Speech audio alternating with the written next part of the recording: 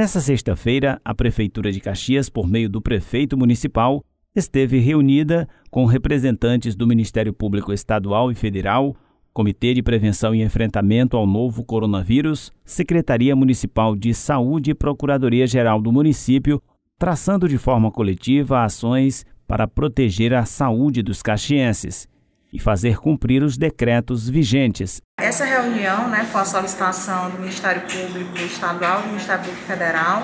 no sentido de querer saber as providências que a administração municipal está tomando e pretende tomar, no sentido de conter ainda mais a, a, a proliferação do vírus.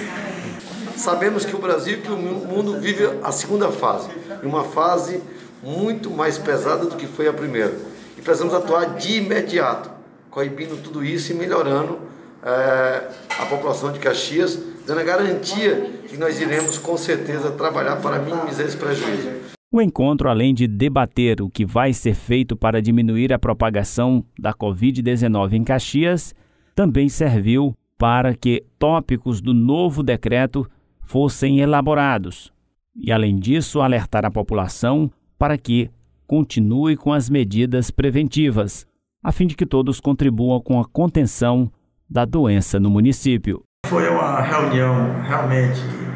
bastante estratégica, principalmente considerando esse momento que a gente se encontra aí ao enfrentamento da segunda onda da Covid-19, onde nós temos situações totalmente atípicas, temos realmente uma responsabilidade gigante e é, sobretudo, o momento da gente juntar forças, né?